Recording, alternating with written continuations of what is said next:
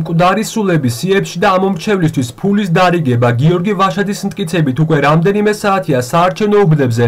მობილიზებული ქართული ოცნების აქტივისტები არჩევნების შედეგებზე ზემოქმედებას ცდილობენ. გიორგი ვაშაძე ბრალდებების დასადასტურებლად კონკრეტულ მტკიცებულებებსაც ასაჯაროებს და სადამკვირვებლო მისიებს მაქსიმალური ყურადღებისკენ მოუწოდებს ეს არის თაწმინდის ერთ-ერთ უბანზე 23-ე უბანზე გარდაცვლილები, რომლებიც არიან სიაში, რომლებიც ადრე არ იყვნენ სიაში და იყვნენ შემდეგ ისევ ასე ვთქვათ სიაში მოხდნენ. ბატონი ზვიადგელოვანი გარდაცვლილია და ნოდარ გელოვანი ასევე 2004 წელს გარდაცვლილი. ეს ადამიანები ფიქსირდებიან საარჩევნო სიაში. ერთ-ერთი ვიდეო ეს არის ასახავს აჭარაში ფულის გადაცემის ფაქტს.